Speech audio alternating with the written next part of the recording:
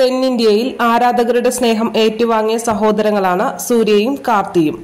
സിനിമകളുടെ തിരഞ്ഞെടുപ്പിലും അഭിനയത്തിലുമെല്ലാം ഇരുവരും മികച്ചു നിൽക്കുന്നു. കാർത്തിയുടെ പുതിയ ചിത്രം ജപ്പാന്റെ പ്രമോഷനിടയിൽ സഹോദരനെ കുറിച്ച് രസകരമായ ഒരു കാര്യമാണ് സൂര്യ പറഞ്ഞത്. നവംബർ പത്തിനാണ് ജപ്പാൻ റിലീസാകുന്നത്. ചെന്നൈയിൽ നടന്ന പ്രമോഷൻ പരിപാടിക്ക് സൂര്യയും എത്തിയിരുന്നു.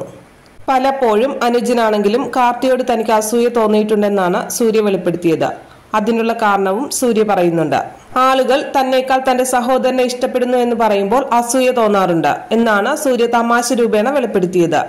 ക്ഷേത്രങ്ങളിലും എയർപോർട്ടുകളിലും വെച്ച് ആളുകൾ തന്നെ വന്ന് കണ്ട് സംസാരിക്കും.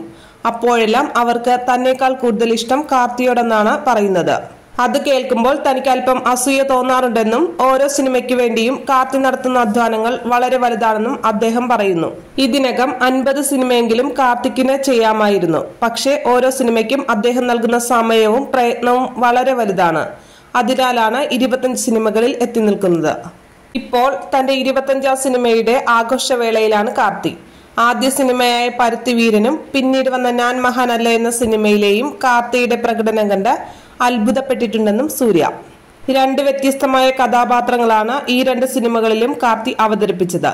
ഞങ്ങളുടെ യാത്രകൾ തികച്ചും വ്യത്യസ്തമാണെന്ന് വ്യക്തമാണെന്നും സൂര്യ പറയുന്നു.